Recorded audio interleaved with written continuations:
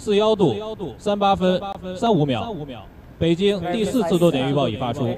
雄鹰。Fourth, that, the fourth would be the final landing point. Yeah, and then the, the crews are, uh, the vehicles, the helicopter are rushing to the site and ready to uh, start search and rescue.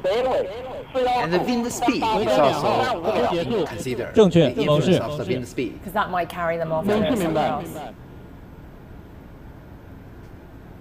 How, how, how big of a uh, area would this fourth prediction be for the landing? Oh, there I they see are. There's, uh, it's going to be a ritual yeah, firing. Well, yeah. we can see the work of the uh, rocket's motors. Yeah, the heat, that would be the.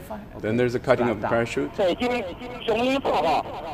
you think? will be vertical or horizontal? Vertical. That's bet on it.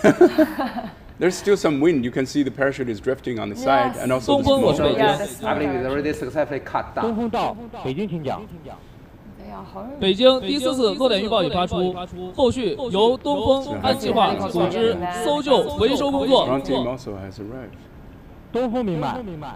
各号注意，Are you able 我是东风返回已 center? 着陆请雄鹰、猛士按计划组织搜救行动。雄鹰，雄鹰，Ying, that's the. the captain of the right?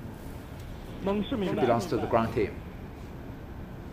The Eagle this team. is probably from the helicopter camera that we're seeing right now, right? I think it looks like the helicopter is landing.